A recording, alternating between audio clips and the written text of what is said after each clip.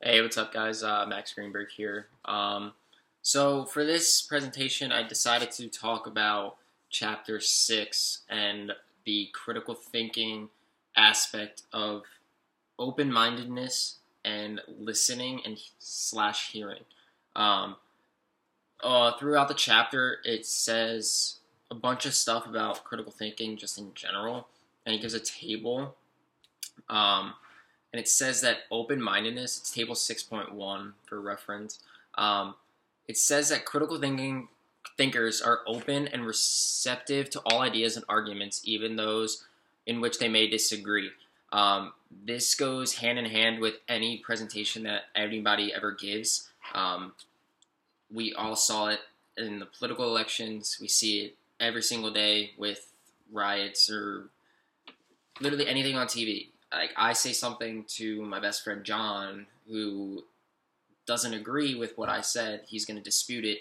Um, but the thing is, people need to have the open mindedness, which is basically you need to learn how to take in all the information and basically just let them talk, and then they'll let you talk, and you can battle it out as much as you possibly want. Um, but the aspect of open mindedness is you don't really care. You like your own opinions, and you just got to be open to what everybody says. Like, it doesn't matter about your views, it doesn't matter about how you think something should go, it doesn't matter about the way you perceive something, it's the way that they perceive it, and you just need to be open to the, like, different people. Everybody's different, and nobody's exactly alike. Um, on in the chapter, it says that uh, it's on page six three. Um, Martha Stewart actually she has a quote, and it says, "Without an open-minded mind, you can never be a great success," which is 100% true. I mean, um, with everything going on nowadays, and like just say the view on abortion. I mean, like if you're pro-life, you're pro-choice. Um, it's just you have to have an open mind about everything that goes on, and open mindedness comes from the big part of abortion to even just wearing a new outfit. Like you buy a new outfit or you're going to shop and you don't know exactly how you're going to look in it. You got to be open minded. You never know exactly. You can change up your style like that in an instant. So, um, listening in this case is you have to like it says in the book you're gonna in, you got to understand the fact of listening versus hearing, and listening is you take it in.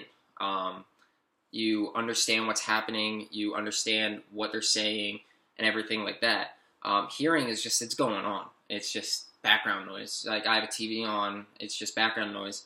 Um, but besides that, critical thinking is a crucial and critical part so yeah, I use the word critical. It's a critical part of everything we do.